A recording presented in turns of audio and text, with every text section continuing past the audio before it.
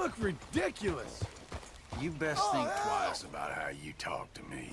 Oh, you want to live in a pine box, do you? You know what? Forget it.